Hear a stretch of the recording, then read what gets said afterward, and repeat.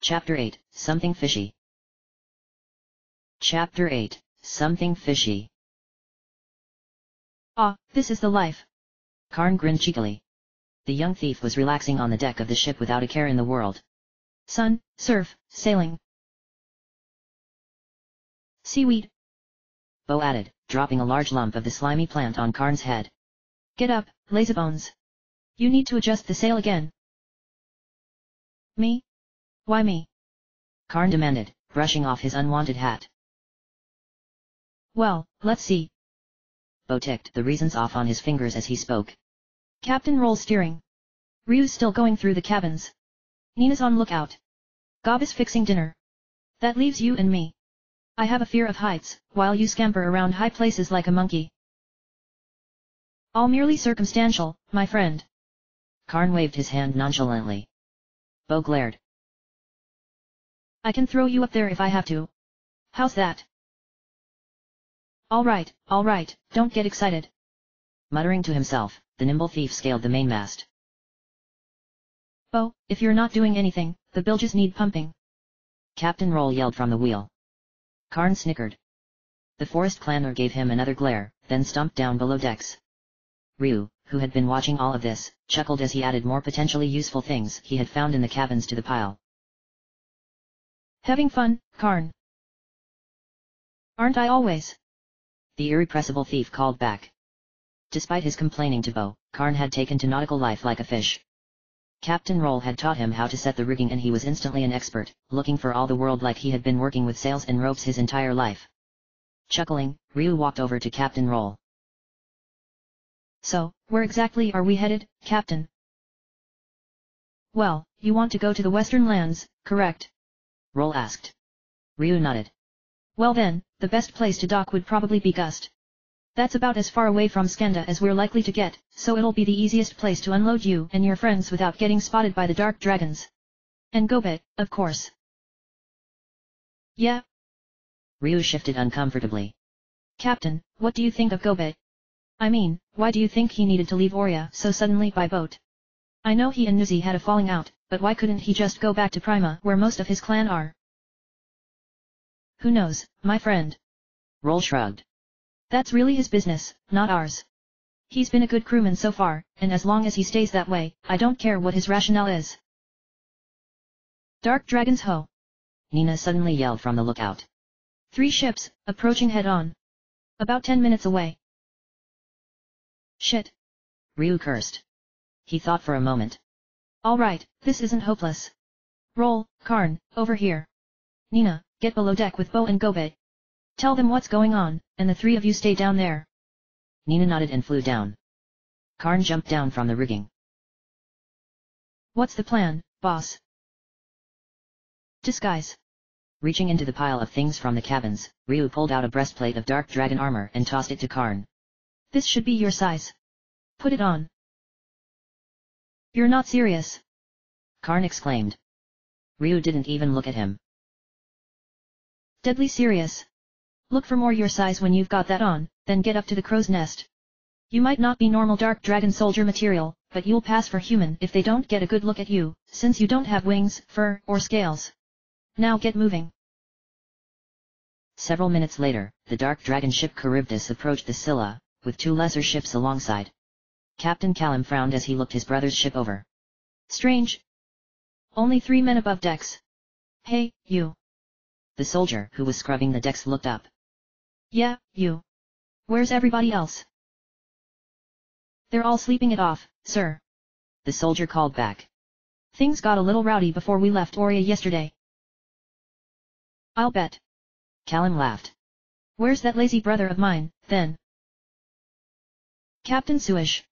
The scrawny-looking soldier on lookout responded. He drank more than any of the others. He'll be out of it all day. That's my brother, all right, the lazy fool. Callum howled. Well, when he wakes up, tell him we made the exchange. I'll be heading to Oria now, and you can follow these two back to the rest of the fleet.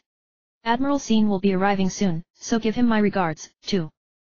Ryu sighed under his breath, it was working. Unfortunately, it was at that exact moment that their luck betrayed them. What the Captain Callum, look. One of the soldiers on the Charybdis pointed to the Scylla's portholes. Callum stared. Amenro. Ryu groaned and made a mental note to flatten Gobi if they made it out alive. Callum was no longer looking amused. What's going on here? Stop this vessel right now, scalawags. Um. I don't suppose we can talk this over. Karn suggested as he swung down to the main deck and Captain Roll joined them.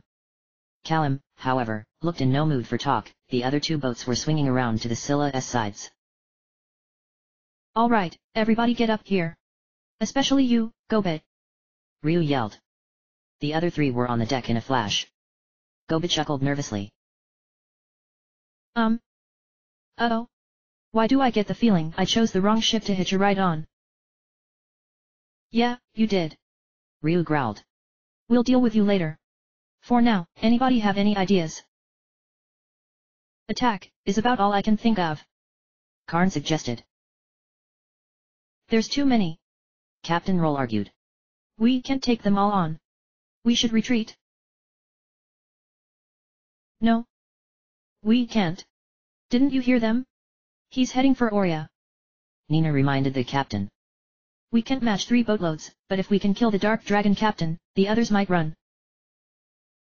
Besides, it's not like we can retreat with them surrounding us like this. Bo reminded them. We're just lucky they haven't used their cannons yet. It looks like the captain wants to deal with us personally. Hold it. Gobi exclaimed. Everybody turned to glare at him, but the Menero was smiling. Everybody, remember? This is a warship. So there's plenty of gunpowder on here. If we blow it up, it'll take all these guys out and we can escape. And then we'll drown triumphantly. Karn shook his head. You've been sticking your head in the cannons, haven't you? I'm a Menero, remember? Gobi grinned. The ocean is my turf. I'll make sure you all come out fine. I don't think we're going to get a better idea. Nina reluctantly agreed. Ryu growled, then gave in. Fine. But I think we have a problem to deal with first. The Dark Dragon captain was boarding. Me and Gobi will get to the gunpowder. Captain Roll decided. You four, hold him off. Right. Bo drew his weapon. Before we fight, one question. Callum spoke calmly as he approached, but inwardly he was seething. What did you do with my brother, Suish? He attacked us. We killed him. Ryu shrugged. Fortunes of war, Captain. I see. Callum nodded slowly. Then you won't take offense when I rip you all into tiny pieces and throw you to the fish. Fortunes of war, after all. Not at all. If you can. Ryu grinned at him. Come on, Captain. The name is Callum. And you must be Ryu, the Light Dragon Rebel. Callum realized as he began glowing. You're quite famous. I'll present the goddess keys to Emperor Zog in my brother's name. After I pry them from your severed fingers. He's transforming. Go, go, go. Ryu yelled at Gobi and Roll, who bolted as the light dragon began his own transformation. The other three took up positions around Callum as he, like his brother, slowly became a humongous mollusk. Callum, however, was blood red, at least half again as large as Suish had been, and resembled an octopus more than a squid. Gee, I wonder which one was the older brother. Karn muttered. Shrieking, the octo lashed out at them with a tentacle each, remaining upright on the other four. Ryu shrieked back, now a thunder whelp, and fried his tentacle with a blast of lightning. Nina easily flew out of reach and began raining enhancing spells on the group. Bo and Karn, however, were in trouble, as they attacked, they took numerous heavy blows. Breaking off his attack on the tentacle, which was black and crispy, Ryu went for the head. Oh, no you don't. The Octo gave vent to a bubbly scream, and spat a glob of some vile slime from the mouth above his eyes right into Ryu's face. The ooze was acidic, and Ryu went down, clawing it off. Breaking off from the others, the Octo began brutally slamming him with every tentacle available, using them like hundred-pound whips. He ignored the blasts and stabs from the other three, madly slashing at Ryu until blood was pouring from a dozen openings in the light dragon's scales. Screaming, Ryu tried to rise, but each time, the Octo smashed him back down. Let him go. Nina yelled, ramming her rapier into the fleshy top of the mollusk over and over, but the Octo ignored her. Die, light dragon! He howled, actually crying with rage. Die, like my brother. Die like the beaten dog you are. Ha ha ha ha ha. He's completely snapped. Karn yelled to his comrades. He won't stop until he's dead or Ryu is. Then we'll have to accelerate that first option. Bo told him. You two, stick your weapons into that mouth. Make sure the handles are pointing up. Go. Nodding, Karn hopped onto the Octo's head and rammed both his daggers in. Nina followed with her rapier. The Octo didn't even notice, he just continued wailing around them. Bo nodded. Get off. Now. As they scrambled to safety, he summoned forth every scrap of magical power he had. From the sky, a lightning bolt wider than the forest clanner's body blasted down with two thinner bolts rotating it. All three smashed into the weapons, and from there straight into the Octo's innards. The stench of overcooked fish filled the air, and the light was blinding. When they could look again, the heroes saw the Octo still standing upright, although his skin was a charred black. Ryu was lying in front of him, turning back into his humanoid form. The Octo slowly raised a tentacle. If I die, you're going to hell with me. But he tentacle would not move. What? No, I. Brother. I'm. Sorry. The tentacle lowered. The Octo slumped to the deck, and his eyes dimmed. Ryu slowly got to his feet. Damn. What's wrong? Nina flew over to support him. We got him, right? Yeah. And some more soldiers got below deck. Ryu hissed. The other three whirled around to stare at the door, which was gaping widely. I saw. But I couldn't stop them. And we were too busy concentrating on Callum. Bo cursed and ran for the door, but something came flying back out. It was a dark dragon soldier, and it appeared to have been impaled through the chest. A moment later, it was followed by Gobi, who was wielding a long pike. Come on, move. The ship's about to blow. He hurled himself at them, rushing them towards the rail. Even as they leaped, they heard a tremendous noise beneath their feet. If this doesn't work, don't blame me. The Menero yelled. Before any of them could reply, something behind them propelled them forward, they hit the water, and everything went dark. Ugh! Ryu slowly regained consciousness. The sun was blazing right into his eyes. Covering them, he peered around. About time you woke up. Nina greeted him. The others were lying nearby, save Gobi, who was doing something to some kind of brown, hairy nut. We were starting to think you were going to sleep until next year. We're all fine, by the way. Karn informed him. Well, as fine as one can be when they're stuck on a tiny desert island in the middle of the ocean with no boat, anyways. Be glad there was an island at all. Bo grunted. Think about where he would have dumped us if there wasn't. Is that any way to talk about the guy who saved your lives? Gobi asked cheerfully as he joined them. The nut he held was bigger than his head and looked harder than a rock. Here, Ryu. Drink from this. He indicated a hole in the side. Ryu stared. You're serious. It's coconut milk. Gobi informed him. It's not fine wine, I know, but it's all that's here. Unless you would like to drink ocean water.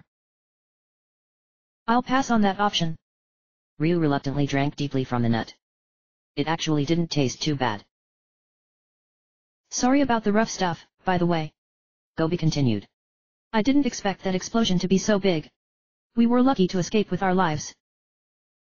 The fins on the sides of his head drooped. Well. Most of us. Most. Ryu blinked, then looked around again. Hey. Where's Captain Roll? Nina, Bo, and Karn all looked away. He didn't make it, Ryu. Gobi sighed finally. When the dark dragons came down below, he ordered me to run up and get you all out alive while he took care of the gunpowder.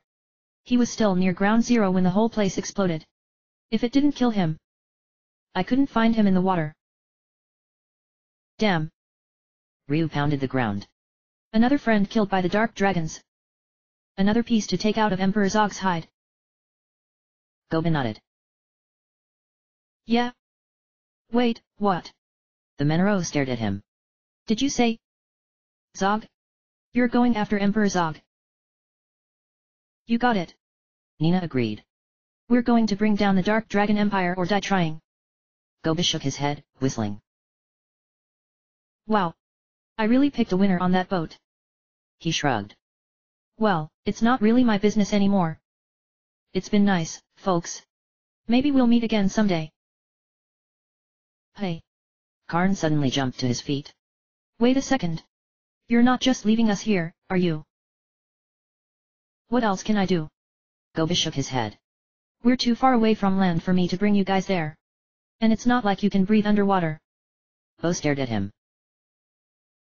So we just stay here for the rest of our lives? Come on, Gobi. There's got to be something. Well. Gobi scratched his chin. Wait. There is. The artificial gills. I've heard of those. Nina exclaimed. They have those in Prima, home city of the Meneros. And by some marvelous coincidence, I can go to Prima. Gobi smiled. However, there is a matter of the cost. Ryu groaned. Why am I not surprised by this? Hey, those things are expensive. Gobi defended himself. And, there's the fact that going into Prima is, well, dangerous for me. And what does that mean? Bo demanded. Gobi muttered something. What was that? I said. I'm an outlaw. Gobi repeated. I got my merchant's license revoked. I'm not even supposed to set foot in the city. The Meneros revoked one of their own kind's merchant license? What did you do? Karn yelled. The Menero clan were known the world over for their greed and love of commerce. Every Menero in the world was working for the Merchants Guild of Prima in some way or another. It was not entirely a joke to say that the species worshipped money more than they did Ladon. For them to forbid one of their own from practicing was akin to an excommunication. I was selling fake happiness jars. Gobi groaned. Open the jar, make a wish, and in a few years it'll be granted. The genie in a bottle thing, made realistic and profitable. And, of course, it was complete bull. Bo shook his head. How do we know you won't take our money and give us nothing? Gobi looked offended. I have learned much in the years of my exile. When my cousin Nuzi agreed to let me help him run his shop, I picked up a great deal from him. A changed Menero am I, I assure you. Yeah, and I'm a mole clanner. Bo shook his head. Ryu, are we really going to do this? Don't have much choice, Bo. Ryu glumly nodded. Not like the money would do us much good here. Get to the point, Gobi. How much do you want? Gobi's eyes glinted. Oh, I'd say, one million zenny should cover it. Excuse me. The four heroes' eyes looked like they were about to bug out of their heads. You heard me. Gobi smiled. Like I said, very expensive and very risky for me. This, I'm not accepting any bargaining on. Take it or leave it. We don't have a million zenny, you fishy fool. Karn yelled. How the hell would we? Oh, I'll be happy to take what you have now and loan you the rest. I don't expect payment on delivery. I trust you guys. Gobi's smile widened.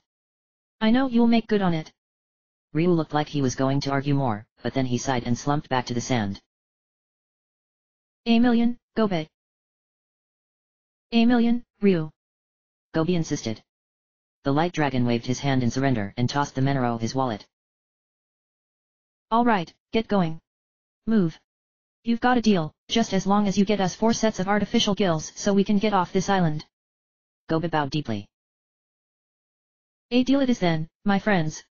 And as a bonus, when I return, I'll even teach you how to walk on the ocean floor and bring you to Prima. Until I come back, enjoy the sun. It really is a nice little island. Grabbing his pike from the beach, he dived into the water and was gone. Ugh. Gobi slowly regained consciousness. He was lying on the floor of the Temple of Ladon back in Prima. Everything was still blurry, but somebody was standing over him. He squinted. It was the statue of Ladon, except it was moving. And smiling. Gobi shook his head. Alright, I'm still unconscious. Even back before his exile, Gobi had rarely visited this temple. He was not at all a religious Menero. Therefore, he considered it highly improbable that God was appearing personally before him now. He closed his eyes and reopened them. Ladon was still there. Got in trouble, didn't you, buddy? The dragon god smiled. Gobi gave in and decided to play along. Well. Yeah, Last thing I remember was bolting for here with a pack of dogfish snapping at my heels. It's been too long since I was under the ocean. I'm rusty with fighting off the monsters. Well, you'll pick that back up over time. Ladon encouraged him. Good thing we were nearby, though, or you would be fish food. We rescued you and brought you back here. You feeling okay now? I guess. Gobi held his forehead. Still a little woozy, though. Ladon nodded, and then his smile vanished. Good, Gobi. Now, be about your duty and return to Ryu. You are one of those destined to accompany Ryu, and another is close to you even now. Find him, and return, Gobi, lest the world fall into eternal darkness. Hey. Gobi closed his eyes again. This time, when he opened them, Ladon was gone and another Menero was there, with purple scales. I said, if you're feeling fine, you should go see the High Merchant. Everybody who comes in or out of Prima has to okay it with him these days. Right. Gobish shook his head. Sorry about that, bud. Head's still weird. Thanks for saving me from those dogfish. The Menero grinned. Hey, no problem. Good luck, buddy. Gobi started to leave, then stopped. Oh. What was with that thing you said about destined to accompany? The Menero blinked, nonplussed. Hey? I didn't say anything like that. You sure you're feeling alright? Ah, it's nothing. Gobi shrugged, waved, and walked out. Prima was unchanged, much to Gobi's relief.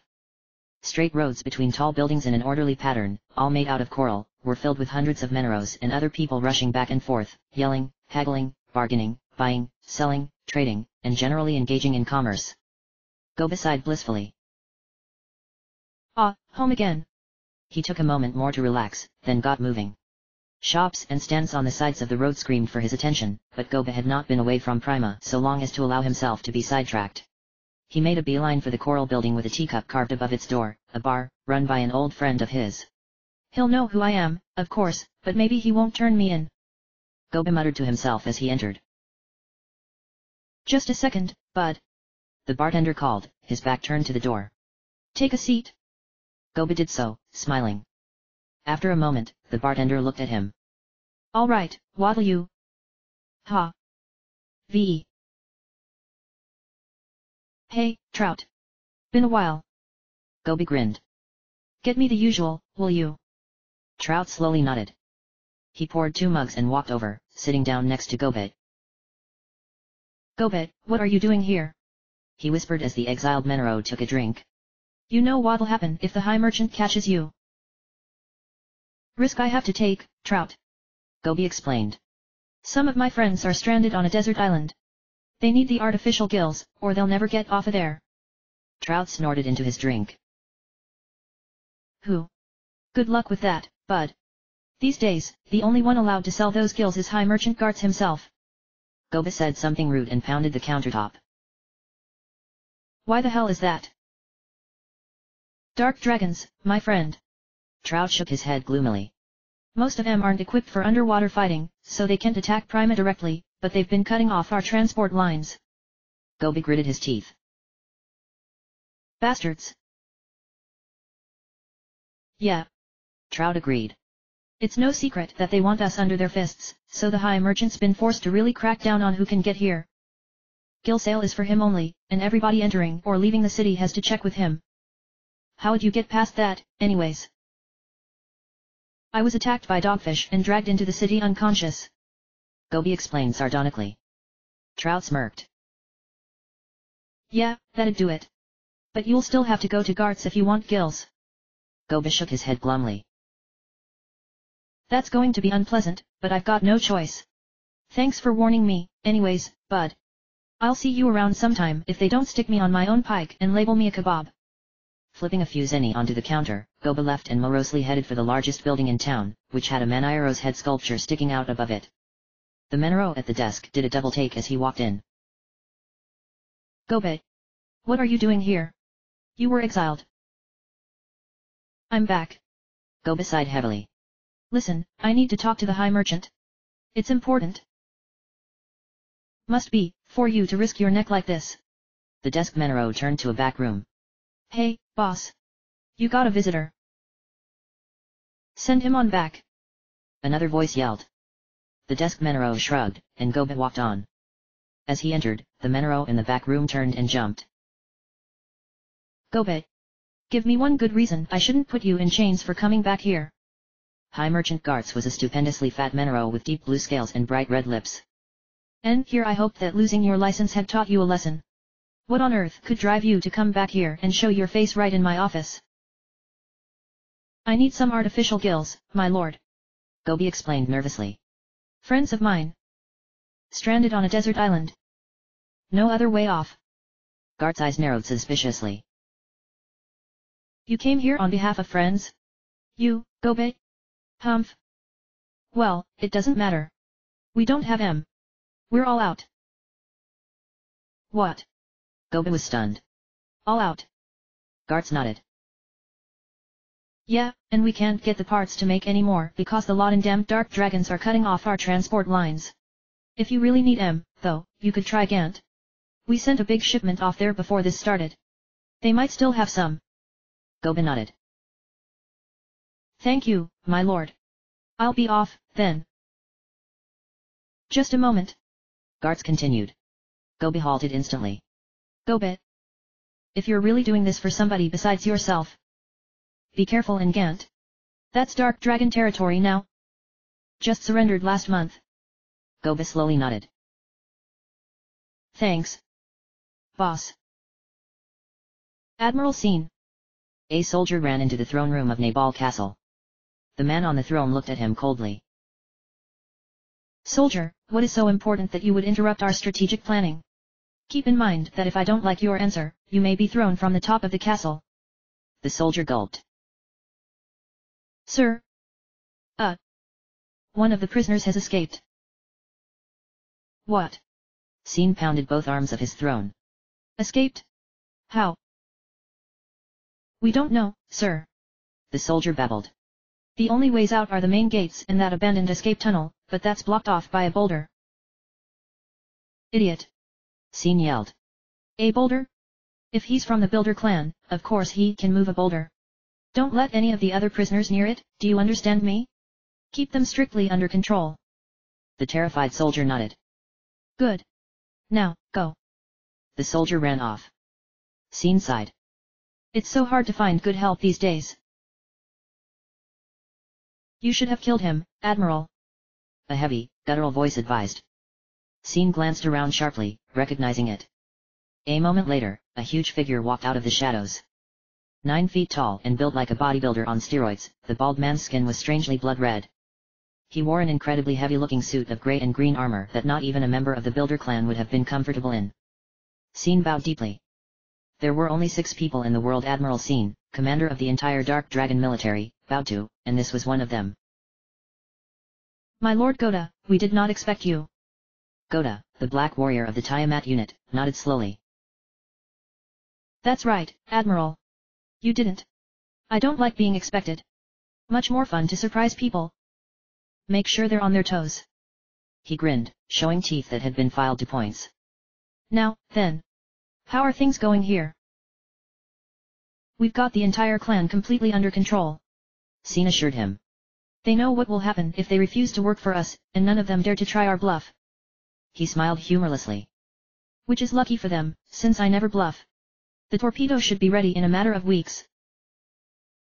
So, why didn't you kill that soldier? Goda asked, flopping down on a nearby couch. Scene stood and offered him the throne, but the Black Warrior declined. He screwed up. If that prisoner gets away, it could cause a lot of trouble. And worse, high morale among the other prisoners. Mistakes like that shouldn't be tolerated. It'll make them careless. Oh, it won't be. Scene assured him. But you see, if I simply killed him, it would lower morale among the other soldiers. My men like me, Lord Goda. If I started offing them, they wouldn't like me so much anymore. Instead of killing him, I'll just ship him out to the eastern front line. Scene shrugged. Not my fault if he gets killed out there, is it? Admiral, there is no eastern front line anymore. Goda growled. The Admiral didn't move. Lord Goda. Did you say that? that there is no eastern front line. Yes, I did. Goda's eyes blazed. You've heard of Ryu the Light Dragon, I take it. That terrorist? Oh, yes. Scene assured his superior. Him and his friends Princess Nina and Bo the Archer are quite infamous. They've just become even more so. Goda growled. They were spotted in Oria, along with a thief named Karn. One of the fusion clan. And here I thought we stamped them all out.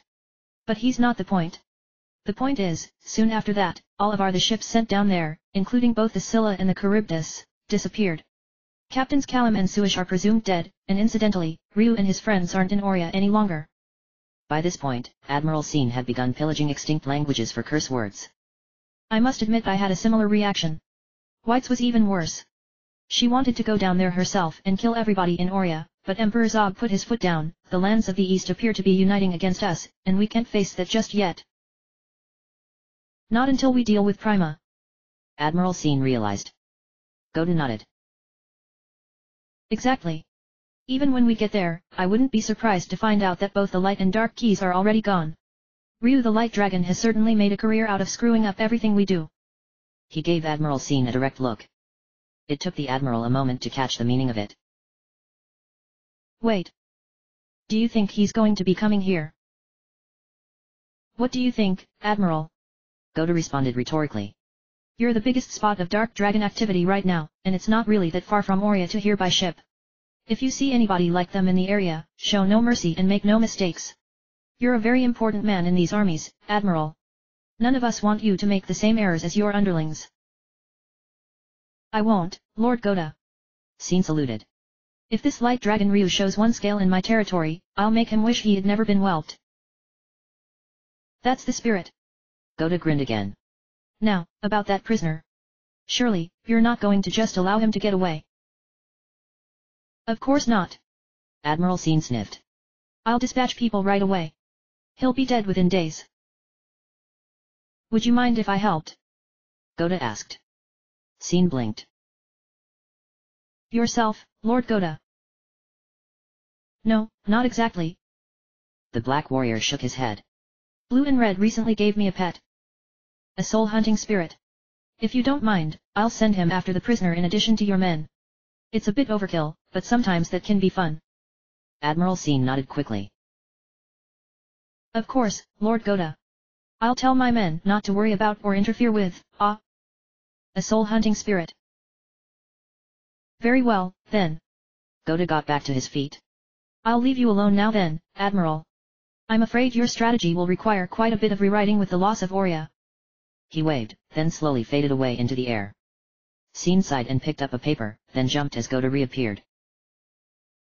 My lord. Almost forgot something. The Black Warrior actually looked embarrassed. The Gold Lord will be coming down here personally from Skanda soon. He wants to take a look at the conquest of Prima personally. Admiral Scene paled a little. Lord Jade? Coming here? Very well, we shall prepare for his arrival. Goda nodded. I'd suggest it, Admiral. Well, goodbye again. Once again he disappeared.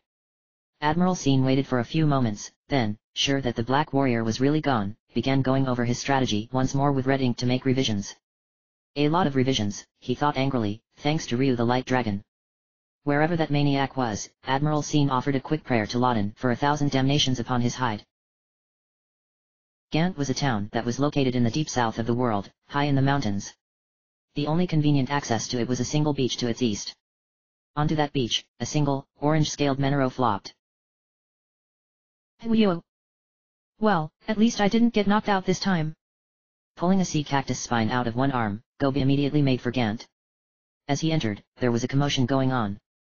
Two dark dragon soldiers were unceremoniously hauling a builder clan man out of his house. Gobi's eyes narrowed at the sight of the soldiers, but he stood aside so they could pass. The two soldiers glanced at him, then looked back at their captive, uninterested.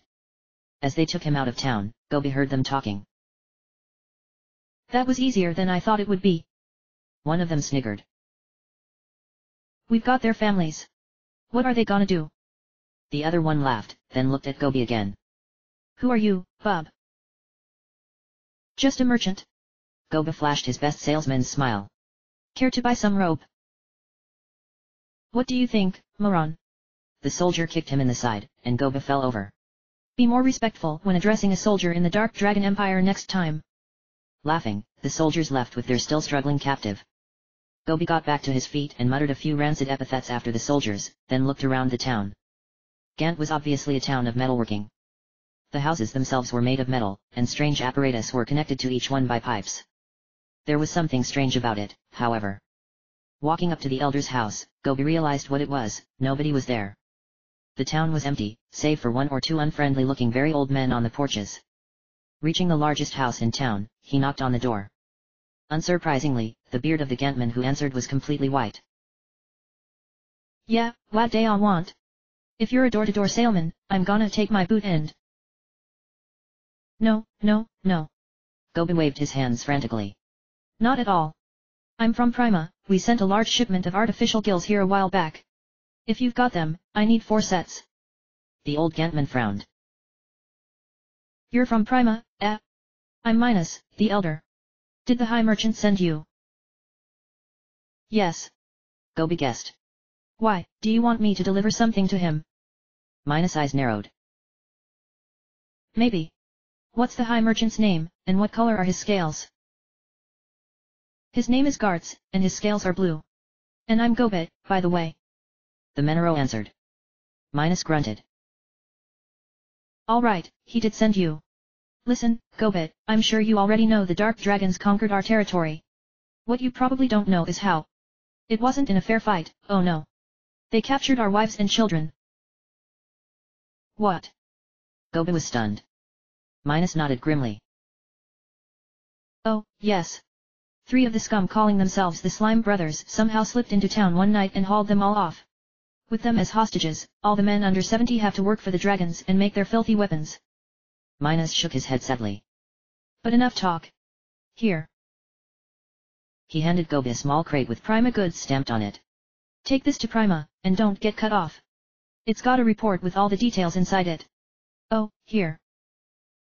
He took a package off the shelf and slipped it inside the crate. There's all the artificial gills we've got left. Now get going, young man. Gobi nodded without saying anything and left. Fortunately, Prima wasn't really that far from Gant, and again Gobi made it to his destination in one piece. He entered the guild center and wordlessly placed the goods crate in front of the high merchant. Gartz smiled. Ah, good. You brought these. Opening the crate, he handed over four sets of gills. These are yours, Gobi, and since you did me this service, I won't even charge you for them. Take them with my thanks. Gobi grinned. Glad to be of service, boss. Now, let's see here. Gartz began reading a letter. As his eyes traveled down its length, he began to swear vociferously. What's wrong, boss? Gobi asked. Gartz pounded his desk. The men of the Builder clan are being forced to build a secret weapon. They're working in a fortress on the western side of the mountains. Secret weapon? That doesn't sound good. Gobi frowned. The high merchant shook his head, his face dark. It's not. At all. They're talking about forbidden technology. A weapon from the War of the Dragons.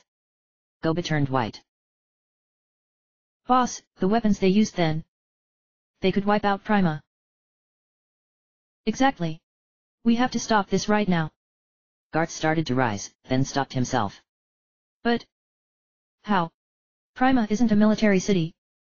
We don't even have a police force. What can we do?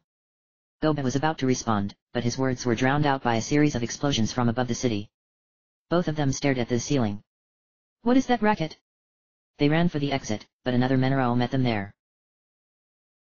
Boss, it's a small boat. The dark dragons attacked and sank it. Any survivors? Gartz asked quickly. The Menero nodded. One. But he's in bad shape. Bring him in here, quickly. And get a pair of these gills on him. The High Merchant commanded. Several more Meneros brought the survivor in, and Gobi stared. It was a builder clanner who looked to be in his early thirties. He was unconscious. The Meneros hauled him up to the top floor of the guild center and placed him on a bed. Get a doctor. Immediately. Gartz yelled. This man may have vital information on the Dark Dragon Army. His survival is essential. Too late, too late for that. A disembodied voice hissed. All the Meneros in the room stared as, out of thin air, a skeletal figure in a purple cloak materialized, holding a large scythe. The builder clanner began moaning, and the ghoul's eye sockets flashed. This one's soul is mine. I will take him to hell. See? Cancel that doctor. Gartz mumbled. Nobody. Nobody can do anything about that. Gobi's eyes lit up. Maybe. But I think I know a guy who would be willing to try. Gartz whirled around to face him. Are you serious? Who? We can't lose this man, Gobi. We can't. His name's Ryu. Gobi explained. Him and his friends are the ones I'm getting the gills for. They're.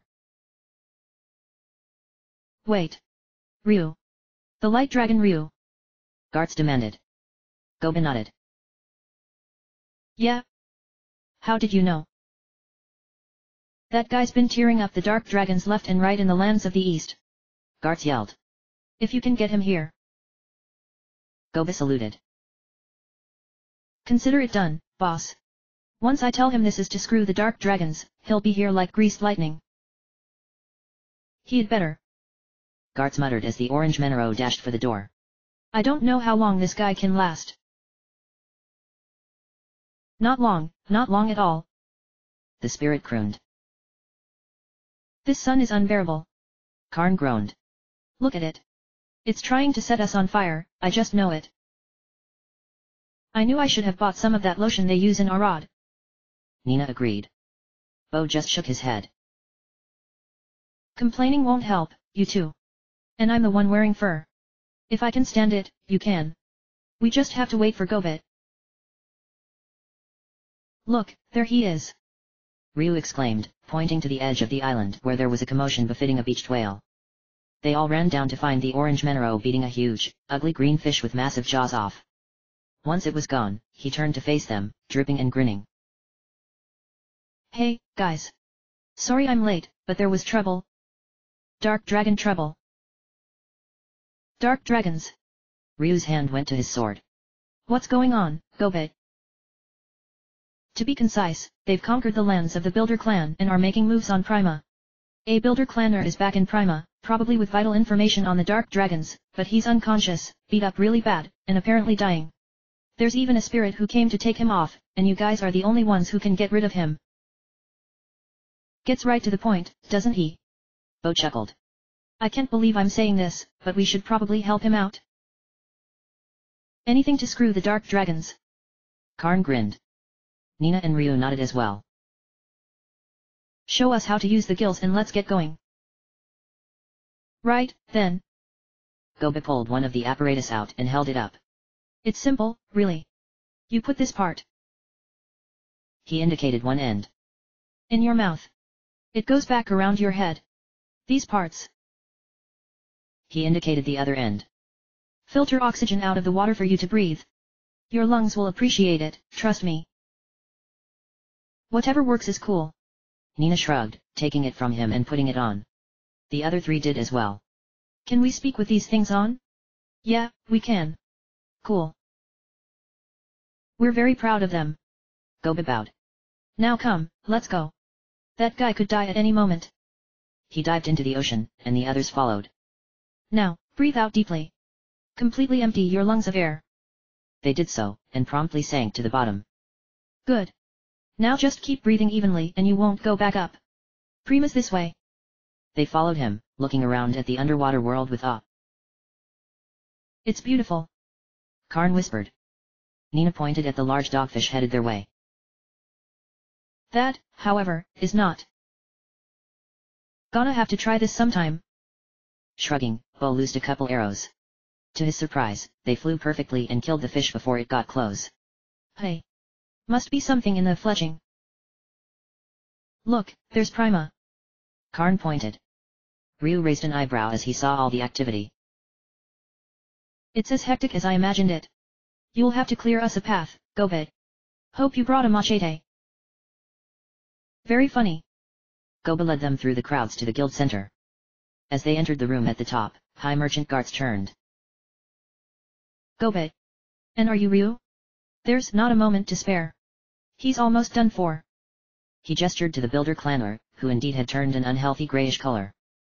The spectre was hovering over him. Nina chuckled. No problem, my lord. I recognize that kind of thing. That thing's no spectre of death. My guess is the Dark Dragons sent it to finish the job on that guy.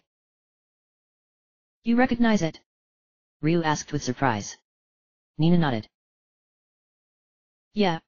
Manson, the Wizard of Karma, had a couple of these things working for him named Mort and Mortia.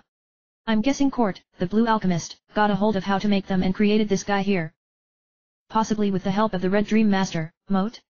Hey, Bonebag. What's your name? The spectre turned to stare at them. I am Moteo. And you will not stop me from taking this one's soul. Ryu rolled his eyes. Brother. Not very smart guy. Every other Dark Dragon flunky in the world probably knows my face by now from the wanted posters. He smiled at the ghoul. Okay, Moteo. What would happen if we did, in fact, attempt to stop you? Silently, Moteo lifted his scythe and brought it down on Ryu's head. The light dragon met it with his sword and thrust it away even as his scales began to form. The Meneros watched in awe as he became the fire whelp and attacked. Moteo never stood a chance as he bathed its entire body in flames that became boiling water instantly. The skeletal spectre collapsed like a burning house, not even a scream issuing forth from its mouth. Ryu turned around to revert. Wait, Ryu. Look out. Gobi yelled. Ryu spun around to see the burning wreck of Moteo swing his scythe at the light dragon's unprotected neck. Before it could strike, however, a window exploded as a school of savage little green fish burst in. They smashed into Moteo at full speed and sent him flying into a wall, losing stray bones from everywhere. Hissing, Ryu charged Moteo again, this time following the blast of boiling water with a brutal rending using claws and teeth. When he reverted and bowed to Gartz, all that was left of Moteo was a small heap of ashes. I don't believe we've been properly introduced, my lord. My name is Ryu of the Light Dragons. Gartz stared at him for a moment, and then his eyes tilted back in his head as he fell to the ground. The other Meneros looked almost on the verge of doing the same. This might take a while. Karn muttered to Bo. The forest clanner could only nod. Hmm. Where am I? Ryu, Nina, Bo, Karn, and all the Meneros turned and watched breathlessly as the builder clanner's eyes slowly opened. My name is Ox. What happened? Your ship was sunk. Gartz answered him, quickly getting back up. You're safe in Prima now, Ox. But why were the Dark Dragons after you? The Dark Dragons. Ox's eyes lit up. Prima. I'm in Prima. I was coming here to give you a message. Is it about the secret weapon? Gartz asked. Ox nodded. Yeah. Yeah it is. The Dark Dragons. They knew how skilled we of the Builder clan were at making weapons, among other things. His fist was trembling with rage. We tried to fight, but three of their men, the Slime Brothers, captured our families. We had no choice. He looked directly at Gartz. If that weapon is completed, you'll have no chance. It's a torpedo. Gartz and Nina went white. That's bad, isn't it? Ryu asked. Worse than bad. Nina whispered. A torpedo is an underwater explosive. It could be fired from a ship 10 miles away and blow Prima to bits. The Wing Clan girl's right. Ox slowly sat up. That's why I've got to get back there. Stop them. In your condition. Gartz blinked. Impossible. He broke off as Ox stood up and stretched, not faltering in the least. He was at least eight feet tall, and every inch of his body was packed with muscles. From behind, he could be mistaken for a tan, furry boulder. Well, a boulder with hooves and horns. The builder clanner smiled at Gartz through his heavy brown beard. Thanks, friend, but I'm fine. I'm a tough guy. And I've got a job to do. Not by yourself, you don't. Ryu decided. We're coming with you, Ox. Ox shook his head. No, no. Thanks for the offer, but... He stopped, and his eyes narrowed. Wait. Blue hair. Are you? A light dragon. Ryu confirmed. I'm Ryu. This is Nina, Princess of Windia. The forest clanner is Bo, their greatest archer. And the little guy is Karn, protege of Kel, the Lord of Thieves. Ryu's sworn to kill Emperor Zog, and we follow him. Nina continued. If it involves messing up the Dark Dragons, Ox, you can count on us. The four of us are with you, and that's that. Ahem. I believe you forgot somebody. Gobi reminded them. Hey. Ryu was startled. Gobi, you. Did you actually think I was just going to stay here while you guys got yourselves killed out there without me? Gobi grinned. Come on. I think by now I've earned a spot on your team. Maybe if it wasn't for the millions any debt you charged us for? Karn muttered. Nina kicked his shin as Ryu shook Gobi's hand. If you still want to come along, Gobi, we'll be glad to have you. You've proven yourself. If I help them, I may be able to get my license back. Gobi thought to himself. Aloud, he continued speaking. Besides, me, let my hometown be blown up by a torpedo? Not on my watch. If you're ready to go, Ox, the five of us are with you. Ox grinned. How can I turn down an offer like that? Alright, you guys. Oh.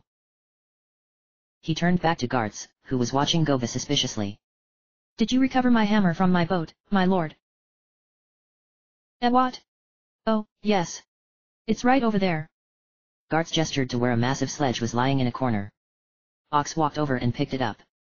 The head of the hammer was bigger than his skull, but he hefted it easily. Alright. I've got what I need. Let's go pound on the Dark Dragon's door.